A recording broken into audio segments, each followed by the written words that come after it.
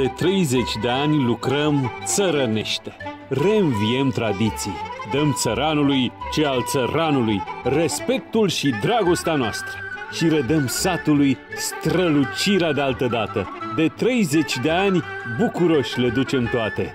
La Antena Satelor.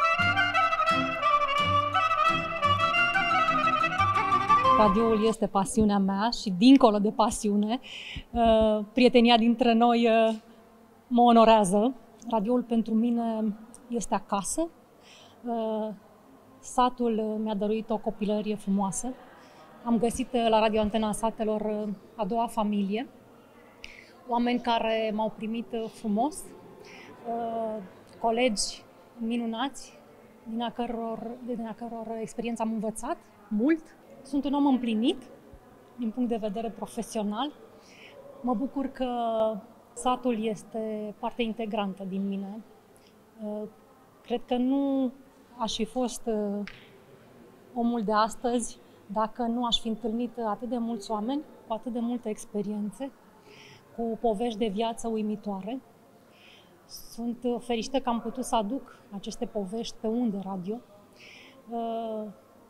Uh, eu Faptul cred că asta te-a atras cel mai tare la Radio Antena Satelor. Faptul că ai putut să fii liberă să-ți alegi subiectele așa cum ai văzut tu și ai înțeles uh, fenomenul.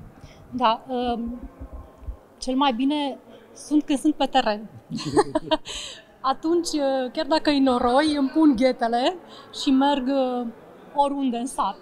Fie că e un, un drum desfundat, fie că este o uliță asfaltată. Uh, merg și uh, culeg uh, probleme și bucurii ale oamenilor, le aduc autorităților, pentru că trebuie să spun că noi suntem un mediator, cel puțin așa simt eu, că radioul este un mediator între, între sat și cei care fac politici pentru sat.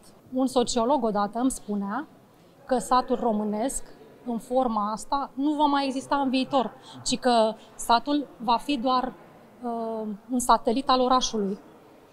Destul de trist ar fi să fie așa. Sper ca uh, ferma de familie, ferma mică să existe și ferma mijlocie, tinerii să rămână în sat, să nu mai plece și să uh, pribegească pe alte meleaguri, pentru că și acasă pot să culeagă porumbul, și acasă pot să valorifice roșiile crescute în solar, și acasă își pot da copiii la școala din sat și uh, familia să rămână închegată, pentru că dacă ceva a stricat în societatea de astăzi, părerea mea este că uh, familiile au fost dezrădăcinate. Tatiana Mircea, uh, la mulți ani, uh, sănătate multă și să reușim să ducem mai departe ceea ce ne-am propus la începuturi și să facem în continuare, să avem această putere și forță să uh, mergem mai departe? Eu cred că putem, pentru că suntem o echipă bine închegată, uh, avem colegi minunați. Uh, aș vrea să le spun la mulți ani colegilor corespondenți, colegilor reporteri, realizatorilor, redactorilor, operatorilor, regizorilor de emisie. Fără de ei, noi nu am fi sărbătorit astăzi 30 de ani de radio Antena Satelor și trebuie să le spun ascultătorilor noștri că în spatele vocilor noastre sunt oameni cu aceeași dăruire, cu aceeași pasiune pentru sat. Foarte mulți ne-au însoțit de-a lungul celor 30 de ani, da? unii dintre ei nu mai sunt.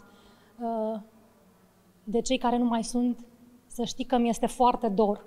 Îmi este dor de Mihai Mihalache, de Dan Voicu, uh, de uh, Ion Axon, colegi care au contribuit la formarea mea. Radio Antena Statelor este și familia mea și pentru asta îi urez mulți, mulți ani. La mulți ani Radio Antena Satelor.